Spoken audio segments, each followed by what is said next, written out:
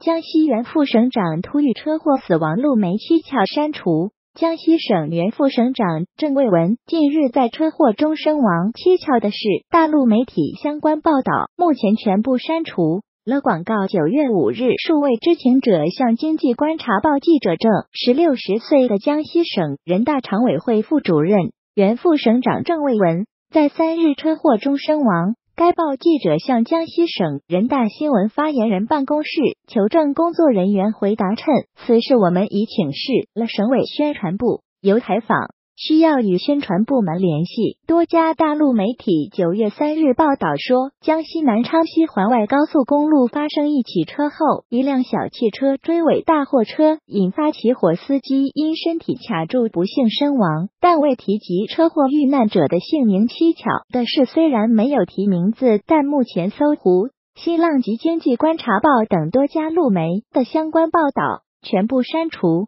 了。生于一九五八年的郑卫文是安徽黄山歙县人，一九八零年一月参加工作，曾任安徽省巢湖市市长、安徽省政府副秘书长兼办公厅主任、马鞍山市市委书记等职。二零一三年八月，郑卫文调至江西，先后任江西省政府党组成员、省长助理兼公安厅厅长、副省长兼公安厅厅长、省公安厅党委书记、督察长、武警江西总队第一政委、党委第一书记。二零一八年一月，出任江西省人大常委会副主任。